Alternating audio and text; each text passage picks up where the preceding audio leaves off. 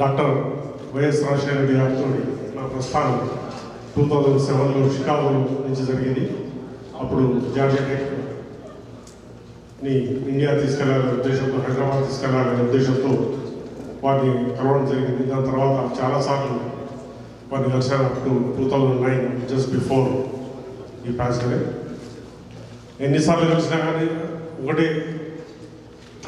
Smiling face by name పిలిచేవాడు అనమాట అంత జ్ఞాపకశక్తి ఆయనకు ఎప్పుడు కూడా ఏ పనికి వెళ్ళినా కానీ ఆయన ద్వారా నో అనేది మాత్రం ఏంటంటే నాకు చెప్పడం జరగలేదు.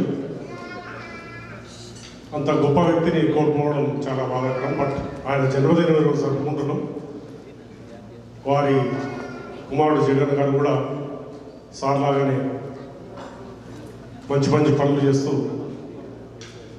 ఆంధ్రప్రదేశ్ని ఒక మంచి రాష్ట్రంగా దిద్దాలని కోరుతూ అదేవిధంగా ఒక చిన్న నా ఎక్స్పీరియన్స్ చెప్తానండి. మా ఫ్యామిలీలో మా అన్న కొడుకు కూతురు కేర్ హాస్పిటల్లో అడ్మిట్ అయింది. అంతకుముందు ఆరోగ్యశ్రీలో ఆ అమ్మాయికి చిన్న పాప ఆపరేషన్ జరగ జరిగింది.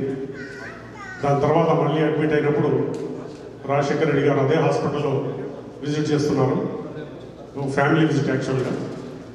అయితే వీడు కలవడానికి పోయి పోతుంటే పోలీసు వాళ్ళు సెక్యూరిటీ వచ్చి వాడిని బోడకం అదివేసి అసలు ఇక వాడు అరిసే వరకు సార్ వెనక్కి తిరిగి ఏం జరుగుతుందని చూసి పోలీసు వాళ్ళని ఆపి దగ్గర పిలిచాడు పిలిచి ఏ బాబు ఏమవుతుందంటే ఇట్లా థ్యాంక్ యూ చెప్పాలని వచ్చాను సార్. అంత తప్ప ఏం లేదు.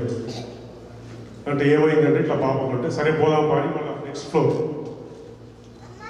మీదికి వెళ్ళి పాపం చూసి అన్నిటికంటే గొప్పటేంటంటే వారు ఇమ్మీడియట్గా డాక్టర్లకు చెప్పి చూడండి ఈ పాప మా పాప ఈ బిల్లును కూడా నా ఇంటికి పంపించండి నేను పే చేస్తాను దట్ ఈస్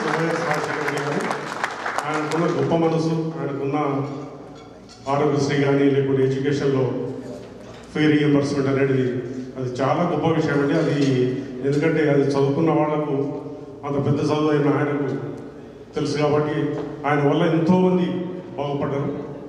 అందువల్ల వారి జన్మదినోత్సవం ఈరోజు జరుపుకోవడం కూడా మనకు సమంజసం. అండ్ ఇంకా ఘనంగా జరపాలి మనం. ఇంకా గొప్పగా వారి తనయుడు జగన్మోహన్ రెడ్డి గారికి కూడా మనం సపోర్ట్ చేయాలని ఆశిస్తూ ముగిస్తాం థ్యాంక్ యూ సో మచ్